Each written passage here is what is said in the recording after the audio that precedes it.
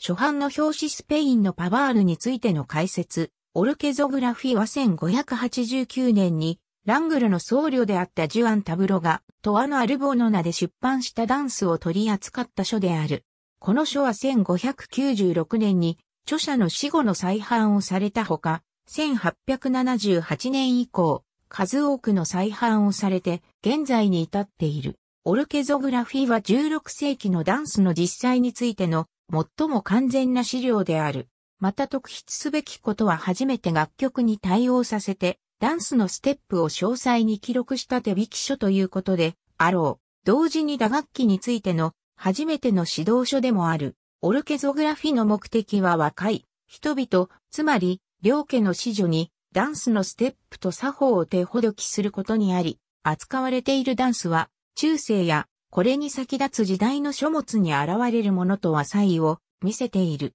こうした教育書と言える書物の初期の例としても画期的な書の一つである。本文はキャブリアルと名乗るダンスの技術には未熟な宮廷の若者がその指導者であるアルボアーボーに教えを請う会話形式で書かれている。扱われているダンスはもう古くて踊られないものとしてバスダンス、パバーヌ、アルマンドの列を作っての舞踏、トゥルディオン、ガイアルド、ボルタ、クーラント、各種のブランル、ガボットの一例、モリスク、カナリー、スペインのパバーヌ、各種のブフォンである。オルケゾグラフィーは20世紀においても影響を与えた。イーゴリ・ストラビンスキーのバレエ、アゴン、ピーター・ウォーロックのカプリオール組曲は、同書に基づいて作曲された。ロバート・ゴーテ、レタンブール・ディー、オルドナンス、サプラティーク、サン・インセンメント、第2巻、1981年ドーモントにて出版。ありがとうございます。